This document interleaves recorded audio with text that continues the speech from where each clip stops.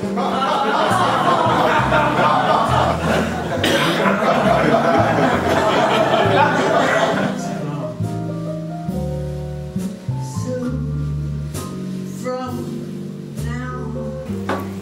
suggestion is borrow. borrow. Start with your friends. borrow from your friends. And when they ain't got any more money, make friends. He's not really your commercial comic That's what made our government so strong. where they have a regular routine, a monologue. He never really falls in that category.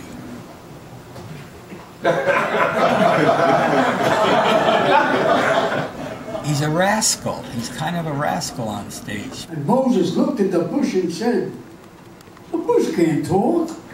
Little did Moses realize that was a marijuana bush. Moses got so high, he thought he was God.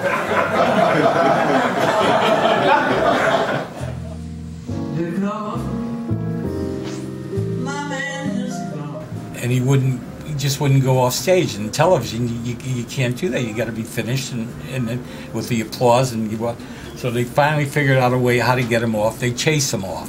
And they chase him through the audience And there was Moses standing on Mount Sinai. He said, Here, we'll build a hospital.